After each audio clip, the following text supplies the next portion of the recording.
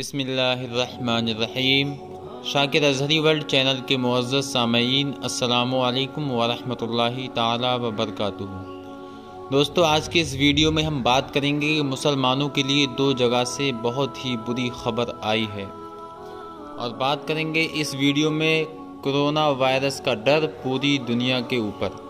तो दोस्तों, वीडियो शुरू करने से पहले आपसे गुजारिश है, अगर आप हमारे चैनल शाकिर अजहरी वर्ल्ड पर नए हैं तो बिल्कुल फ्री अभी सब्सक्राइब कर लें और पास में लगे वेल आइकन को दबा दें, ताकि आने वाले हर वीडियो की नोटिफिकेशन हम आप तक आसानी के साथ पहुंचाते रहें। तो दोस्तों, मैं आपको बताने वाला था कि दो बड़ी ख़तरनाक खबर मुसलमानों के लिए आई हैं।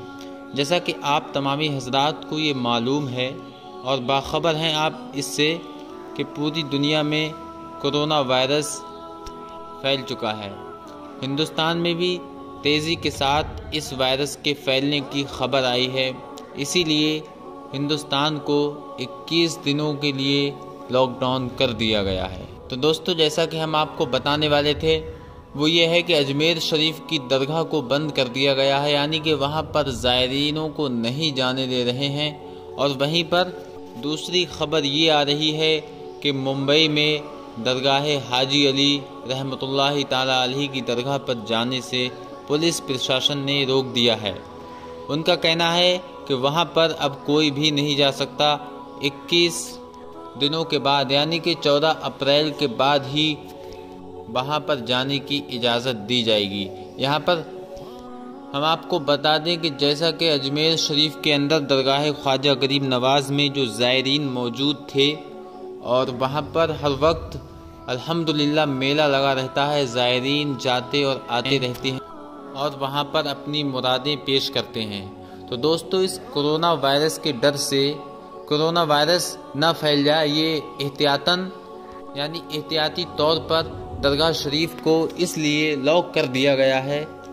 लॉक करने का मतलब ये नहीं है कि वहाँ पर कोई भी नहीं। एक दो मुजाविर वहाँ पर ठहरे हुए हैं। बंद करने का मतलब ये है कि वहाँ पर बाहर के ज़ायरीनों का आना जाना बंद कर दिया गया है, ताकि कोई भी शख्स कोरोना वायरस का मरीज़ वहाँ ना पहुँच जाए और वहाँ पहुँचने के बाद वो अपनी बीमारी दूसरे लोगों के अंदर ट्रांसफ़र कर दे। क्योंकि दोस्तों, हम आपको बता दें, ये बीमारी जो है, हवा से नहीं, बल्कि इस तरह फैल रही है। मालिया कोई गिलास अगर मरीज़ ने पकड़ा तो उस गिलास को अगर एक साधारण इंसान पकड़ लेगा तो उस शख्स के अंदर वो वायरस रूनुमा हो जाएगा। यानी कि वो वायरस उस शख्स के अंदर चला जाएगा।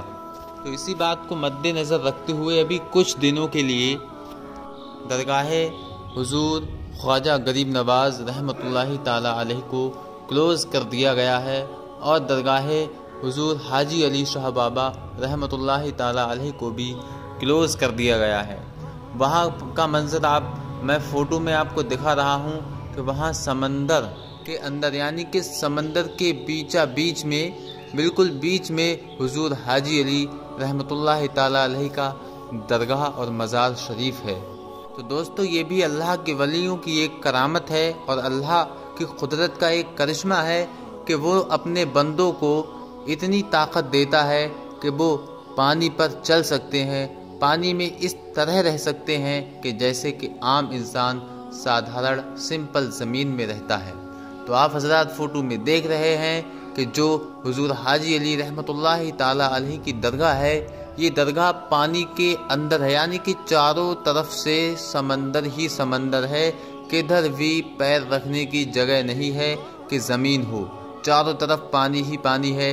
दोस्तों, लगभग एक किलोमीटर तक हमें समंदर के ऊपर, यानी ये जो सीढ़ी है, इस सीढ़ी पर चलना पड़ता है और चलने के बाद हम हुजूर हाजी अली रहमतुल्लाह ताला की दरगाह तक पहुँचते हैं। तो ये अल्लाह के वलियों की एक कराबत है और अल्लाह के वलियों की ये शान है कि उसने परवरदगार आलम ने अपने बंदों को ये शान अता फरमाई है कि वो हवाओं पर और पानी पर यहाँ तक के लोगों के दिलों पर भी राज किया करते हैं। तो दोस्तों ऐसे ही ख्वाजा गरीब नवाज़ रहमत ताला का एक वाक़ मैं आपको सुना दूँ। इस वीडियो को पूरा ज़रूर देखना, क्योंकि अब मैं ऐसा वाक़ सुनाने वाला हूँ, जिसे सुनकर आपका ईमान ताज़ा हो जाएगा और आप सुबहान अल्लाह कह उठेंगे। और दोस्तों, आपसे गुजारिश है, अगर आप ये चाहते हैं कि इस बीमारी को अल्लाह तबारक व ख़त्म कर दे तो आप आमीन हमारे कमेंट में लिख दें। अल्लाह तबारक व ताली इस बीमारी से तमाम मोमिन को शिफाए कामिला आजिला अता फ़रमाए, इस बीमारी से दूर और महफूज फरमाए। जी हाँ दोस्तों तो मैं वाक़ ये सुनाने वाला था, जब हिंद के राजा प्यारे ख्वाजा गरीब नवाज़ हिंदुस्तान में तशरीफ़ लाए तो आप पर बादशाह ने बहुत जुल्म किए। यानी कि आप जहाँ पर तशरीफ़ रखे आप जहाँ पर बैठे, आपके मुरीदीन वहीं बैठे। उसके बाद राजा के सिपाही आते हैं और देखते हैं कि यहाँ पर ख्वाजा गरीब नवाज़ और उनके ग़ुलाम मुरीदीन बैठे हुए हैं। उस बादशाह के ग़ुलाम जाते हैं और अपने बादशाह से कहते हैं कि वहाँ पर कोई फ़कीर, कोई दुर्वेश आए हुए हैं और उन्होंने वहाँ पर अपना क़याम गाह बना लिया है, जहाँ पर हमारे ऊँट बंदा करते हैं। तो दोस्तों, उसके बाद क्या होता है?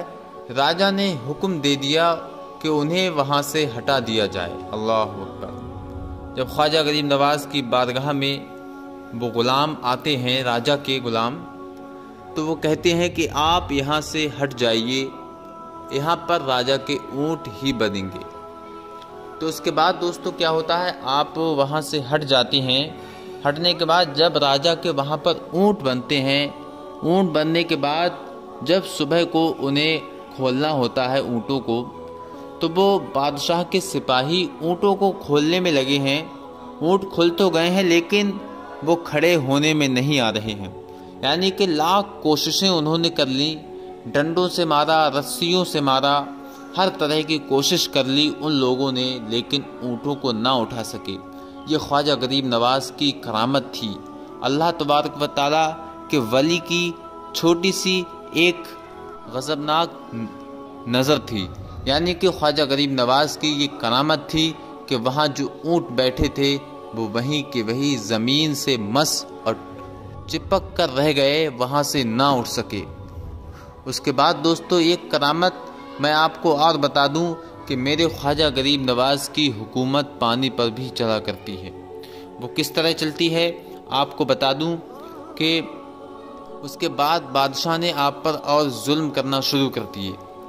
यहाँ तक के कह दिया कि अना सागर से अब कोई भी पानी नहीं ले जा सकता, यानी ख्वाजा के ग़ुलामों को और ख्वाजा साहब को पानी से मना कर दिया गया, यानी कि अना सागर से पानी कोई नहीं निकाल सकता।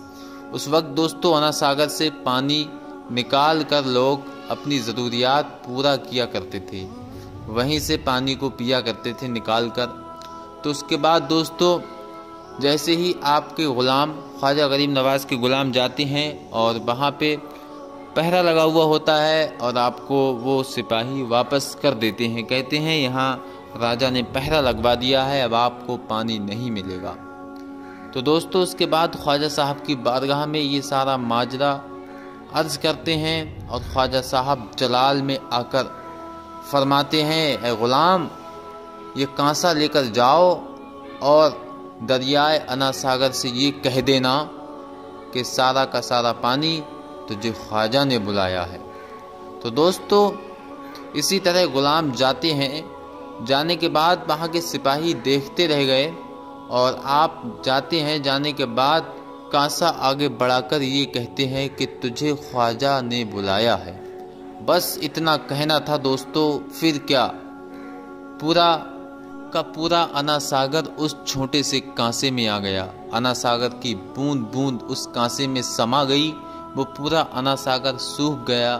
दोस्तों, ये मेरे ख्वाजा गरीब नवाज़ की करामत है। अल्लाह तबारक व ताली के बंदे, प्यारे बंदे, अल्लाह तबारक व ताली के अलिया कराम ये सब अल्लाह तबारक व ताली ने इन्हें वो ताकत दी है जो हवाओं और पानियों पर भी राज किया करते हैं।